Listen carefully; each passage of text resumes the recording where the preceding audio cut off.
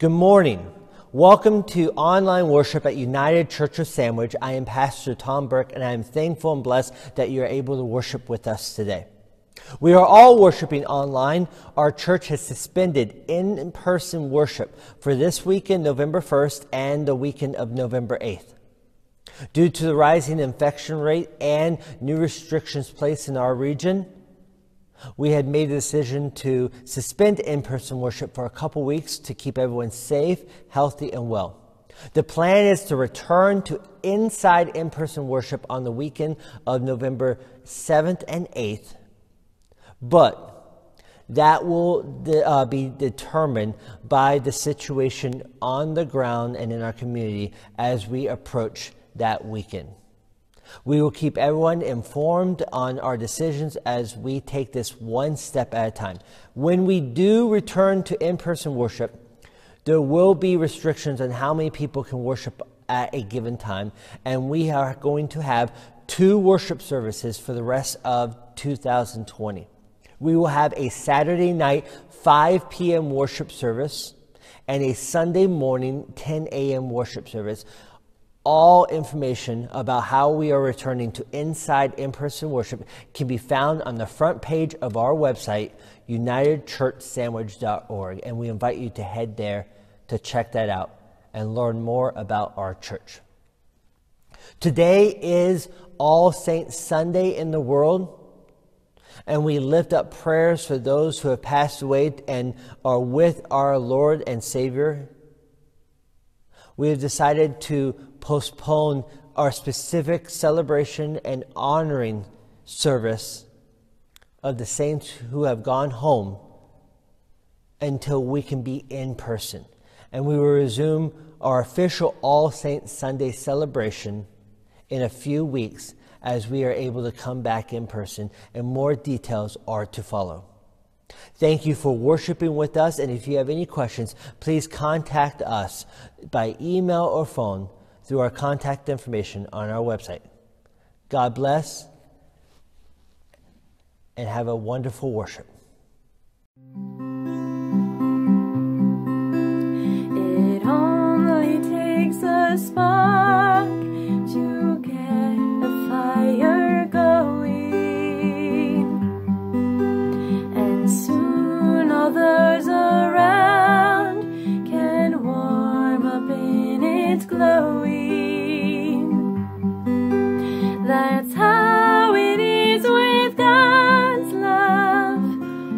Once you've experienced it, you spread His love to everyone you want to pass it on. What a wondrous time is spring when all the trees are budding.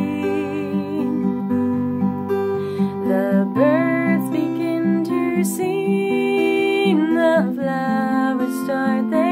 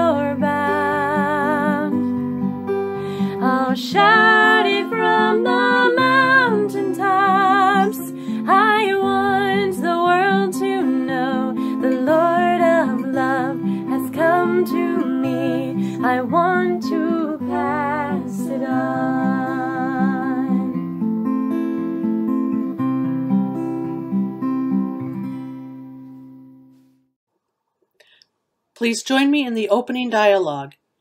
Each one of us here is different. We are unique individuals.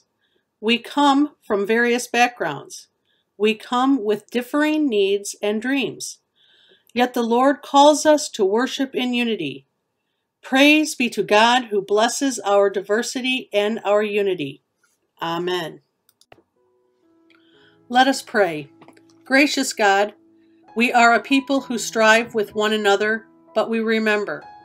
We remember Joseph, whose brothers threw him away, but he forgave them and became their salvation. We remember Jacob and Esau, who fought in their mother's womb, but they became reconciled on the battlefield. We remember your people, who suffered in exile, and Queen Esther, who took a stand for such a time as this to end the strife. And still we strive against one another. Our brothers strive against sisters, mothers and fathers strive against daughters and sons. We strive among races, among nations, among classes. We strive across the miles and across the ages. We strive in the Christian family, in the human family. But Jesus prayed for our unity. Almighty God, you reconciled us to yourself and gave us the ministry of reconciliation. You created one humanity out of the two. You have broken down the dividing wall of hostility.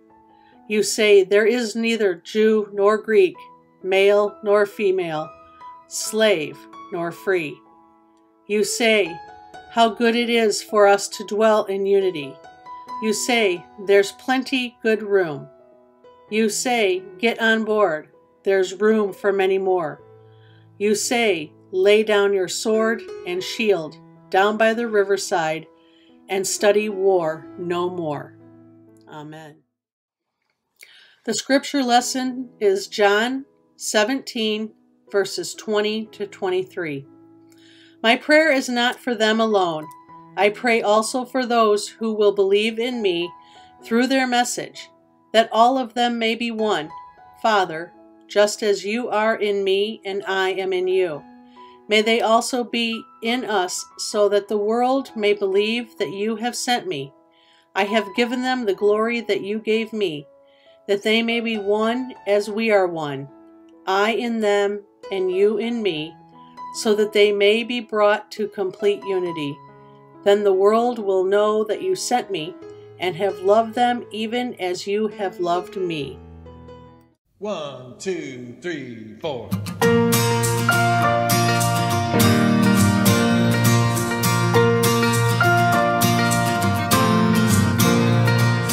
All creatures of our God and King, lift up your voice and with us sing.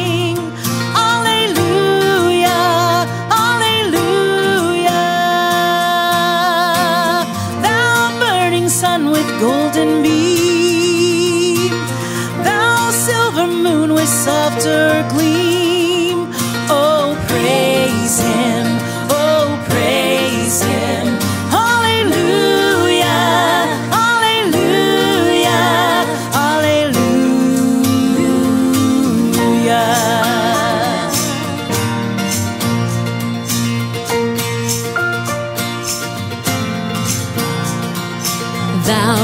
wind that art so strong, ye clouds that sail in heaven along.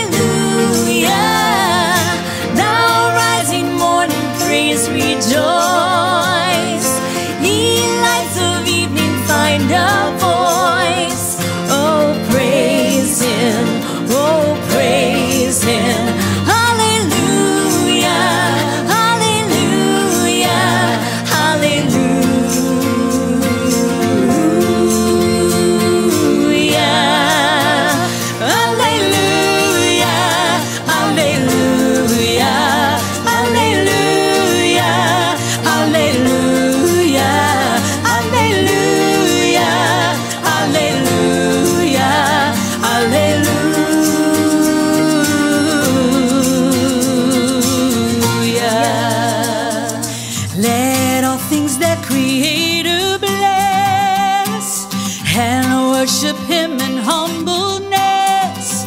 Oh,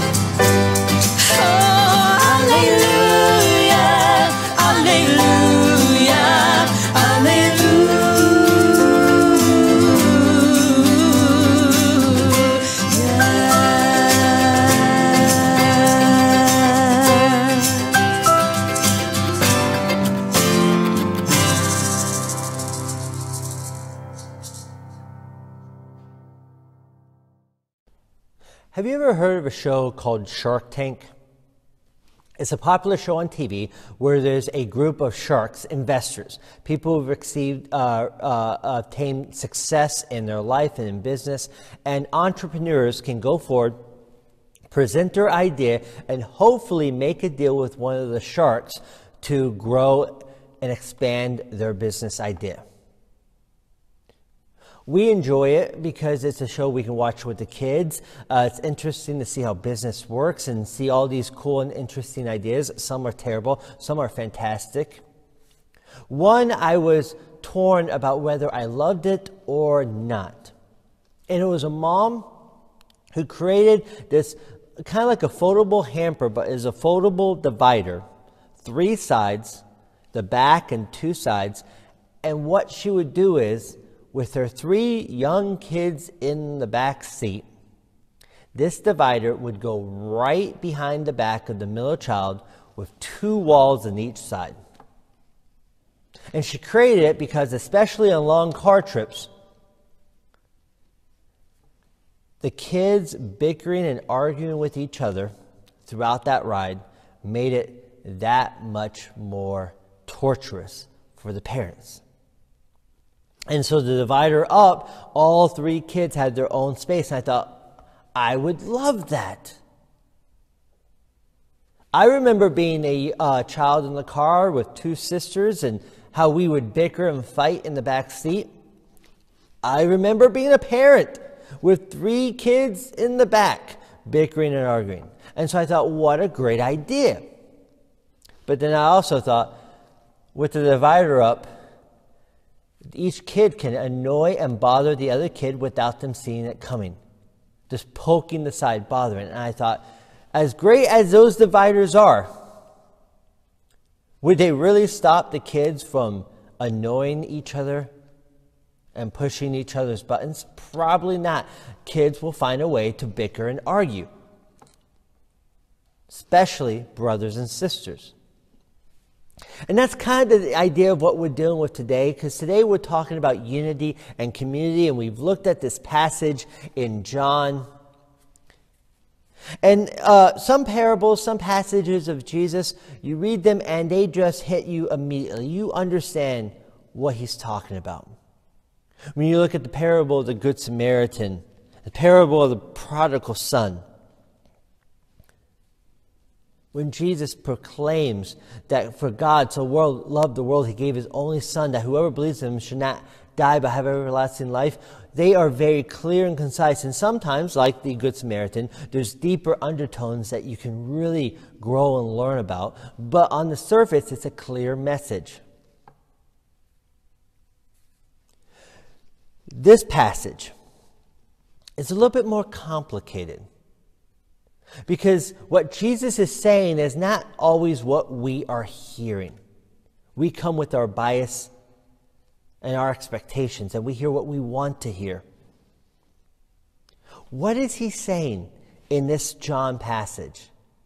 What does he want us to hear beyond our own biases? In John 17, they're at the final days of his life. This is the Passion Week. In one chapter, Jesus will be arrested and proceed towards that cross to die for us. And these are his final teachings and thoughts as presented in John. And he speaks on unity. Let me read again what he says. My prayer is not for them alone. He's talking about the disciples that he was praying for in the previous passage in John 17. I pray also for those who will believe in me through their message, that all of them may be one. Father, just as you are in me and I am in you, may they also be in us, so that the world may believe that you have sent me. I have given them the glory that you gave me, that they may be the one, they may be one as we are one. I and them, and you and me, so that they may be brought to complete unity. Then the world will know what, that you have sent me and loved them even as you have loved me. One of the struggles that we have in this concept of unity is that we envision this idea of heaven on earth, this, this utopia, that there is no dissension, there is no conflict, there is no war, there is no strife, that in this united community, there is just love and agreement. And you can take this in the church or in the community or in the nation or in the world, but the idea that for some, unity has one complete set of beliefs. That there is one undivided church. That everybody who is a part of it is in full agreement on everything, in every way. This is not possible. This is a fantasy that we, uh, we hope to achieve, that we think we can, that we think God wants us to achieve, but this is not what's going to happen. And I'm not, this is not what Jesus is praying when he's praying for unity of those disciples to go out and spread the love of Christ and to be united in doing so. There was a theologian in the 20th century. His name was Dietrich Bonhoeffer. He, uh, he actually was, was executed by, by the Nazis. He was German, and he was part of a resistance to fight against the hatred, evil, and actions of Hitler and the Nazis. He believed that it was more wrong to stand by and do nothing to take a stand and act against evil. In his book, Life Together, he talks about the church. He talks about the Christian community, the, the, the believers of, of Jesus Christ. And he describes this idea of unity in this fancy way as a wish dream. That the harmony we envision is not likely and it's probably not even possible. He goes on to say that you and I have no right, we have no reason to be disillusioned when it doesn't meet our expectations. That when we desire perfect agreement, and then we are disappointed and we are let down when that does not happen, especially in the church, that we have no right to be angry or upset about it. For it is somehow in our very experience of this community that in not meeting our hopes and dreams, that we actually discover what life in the church should be about. Not because we disagree or agree, with each other, each other, but because that the ways in which we struggle and the ways in which we try to understand and connect to each other enables us to clearly see what Christ has done for us. That's the glory of the faith. Because even in our differences, even in our brokenness, when we come together and we see the struggles, we see the power of Christ's love. When we see the differences, we see the power of forgiveness. That in the church, we see our faults and we can examine them and we see the need for God and how true it is. We see our struggles and we see the struggles of our brothers and sisters in Christ, and we are unified not because we all agree or we are all the same, but because we all need God. And we all need the love of Christ. We aren't perfect. We aren't always cohesive. We bicker. We argue. We struggle. But that's what family is brought together in our imperfection because God's love for us and God's love for each other through us is greater than our differences. That's what family is. I've never encountered in all of my ministry and in all my life that idealized, leave it to beaver family where everyone gets along, where the parents always know best, the kids always behave, no one argues or fights, no one's feelings are hurt, no one is betrayed, no one is uh, knocked down. It doesn't exist. The family I grew up in was not perfect.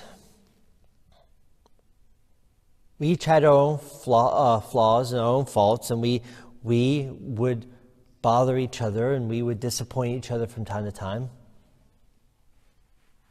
The family I have right now with my wife and children is far from perfect. And we disagree and we bicker and we don't get along sometimes. And sometimes with the kids, as parents, we decide it's better on that day and that afternoon for them to be in different rooms. Because them separated is more peaceful than them together. We do that. Families argue. We disappoint. We say and we do hurtful things. Sometimes it's unintentional, sometimes it is intentional. But we love each other. And even in our dysfunction, we depend on each other and we need each other. And we gather together when the storm's coming and we hold each other. That's what the church family is all about.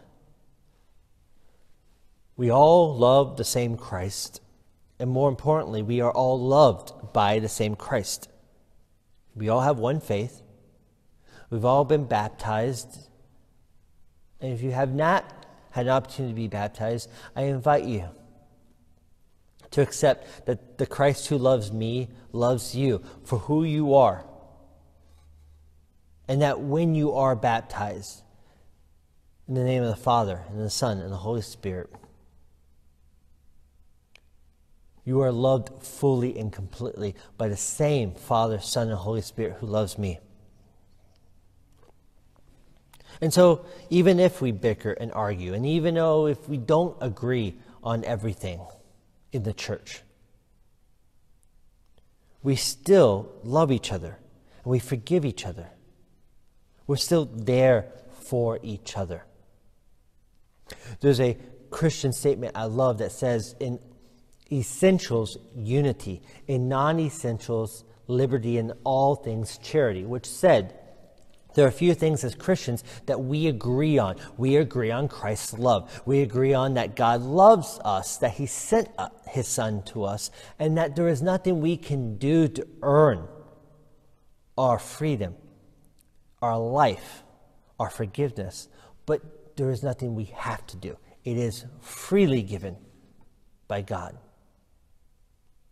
that God loves us no matter who we are, where we are, what we've done. We agree on that together.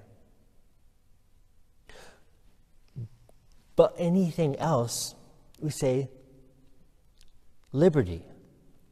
Let us accept each other's differences. Partly, I'm talking about unity and community today because in a few days we will have an election. And we will elect a president in the United States, and we will elect senators and congressmen and officials nationally, state, and local to lead us. And anytime we are dealing with politics, we're dealing with differences. Some of us are Republicans, some of us Democrats, and some of us are none of the above. Some conservative, some liberal. Some have economic policy beliefs that head one way, and some have them that head another way. Social issues that head in different direction. Our understanding of how we feel about how this country should be run, what laws should exist, and what laws shouldn't. Do we reject everyone who has different beliefs than us? Should we reject those people in our lives that have different political opinions than us. How do we apply John 17 to our current situation? we accept we are family. And unity does not mean we agree on the same issues. It means that our love for each other goes beyond our disagreement. Unity means we are family, and family means that we pray for each other when there's a need. It means we bake cookies or make a meal, provide food when a loved one, a brother or sister in Christ, is going through a hard time. It means we grab our hammer and our screwdriver to work together on a project that's in need.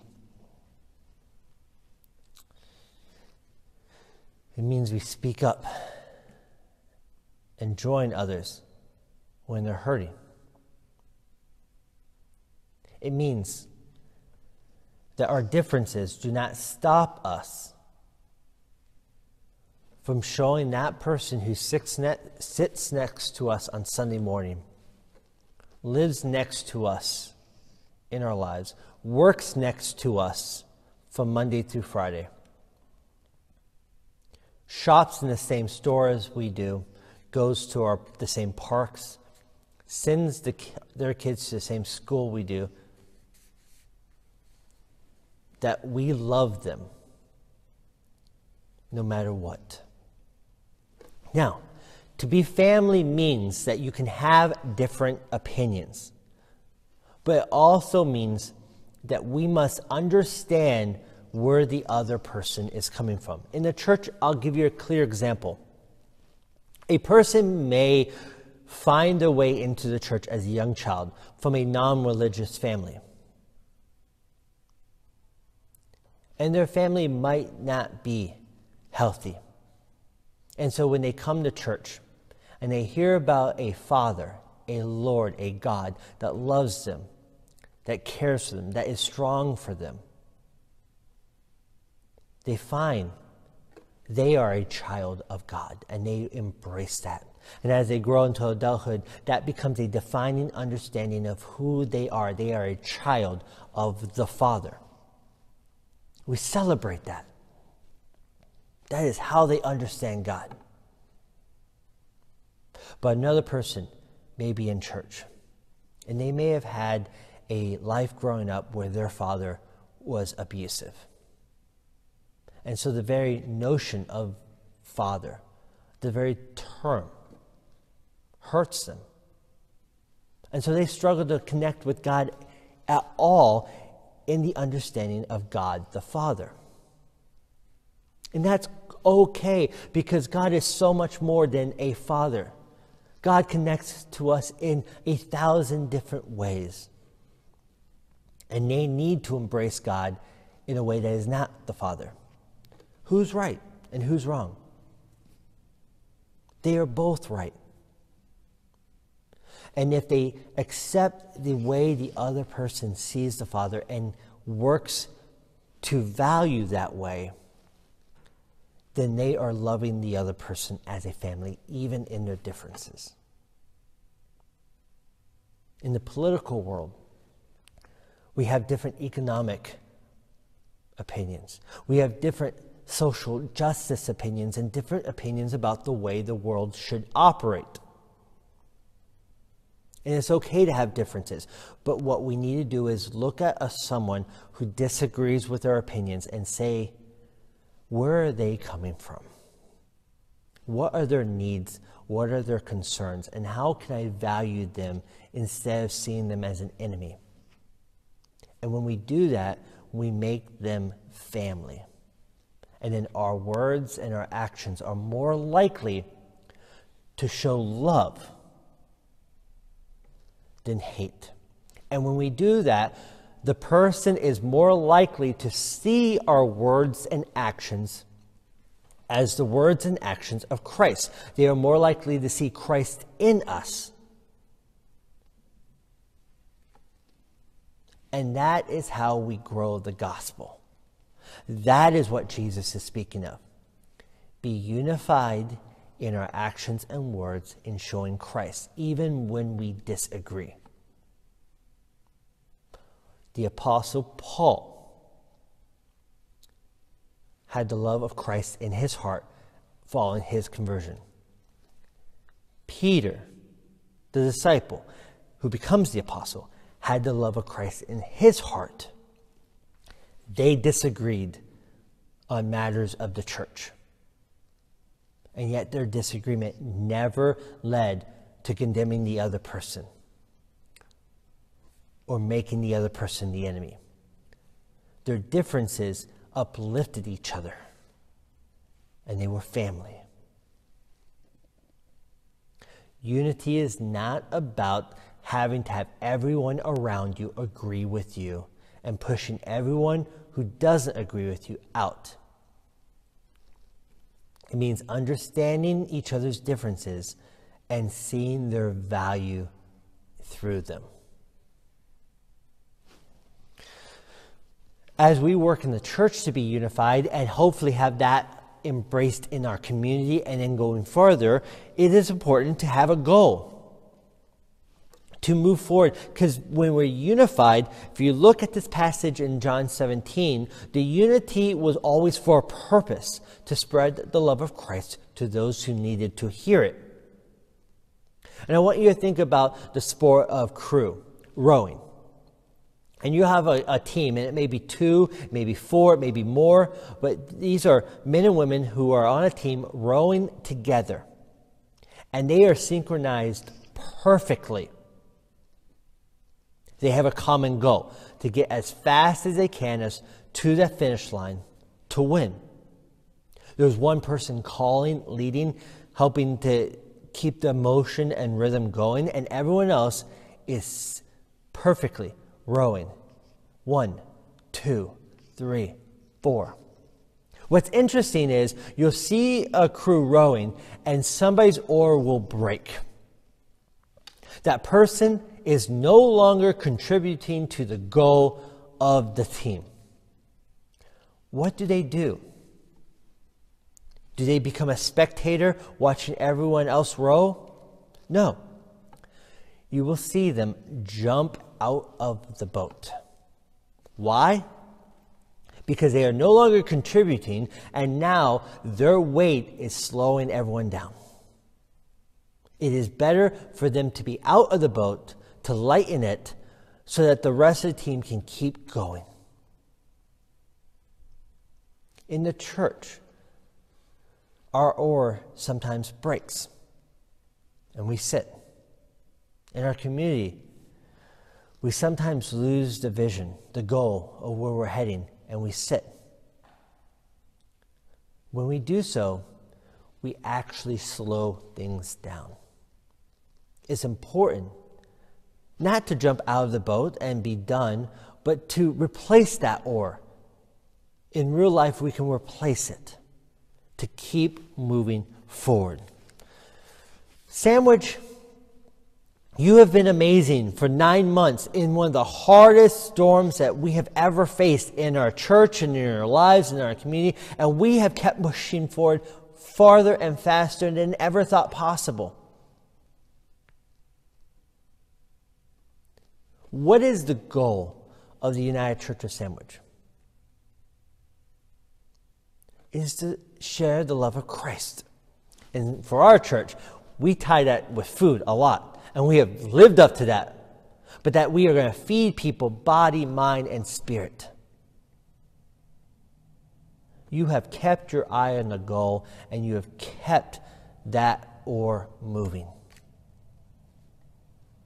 And so, wherever we go in a church, or whatever we do,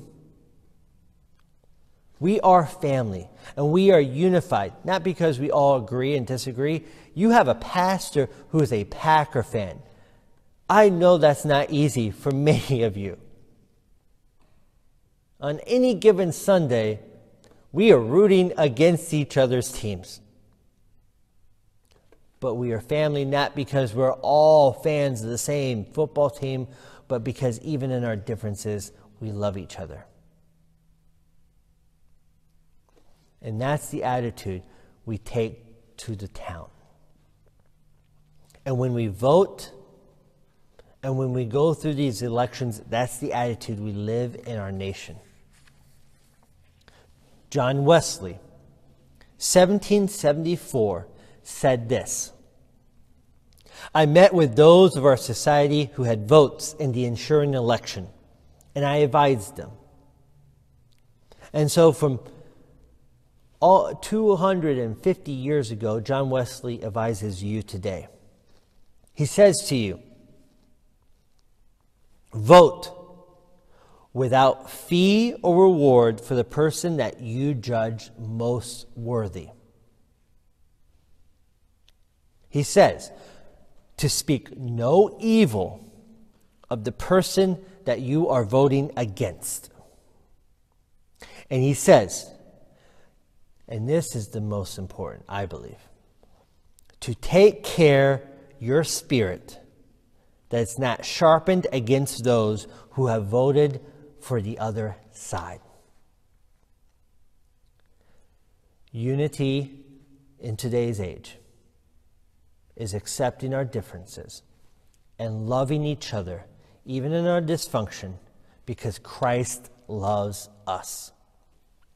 And if we can do so, we join the disciples of John 17 in being empowered by the Spirit, that those who see us will see God through Christ. Amen.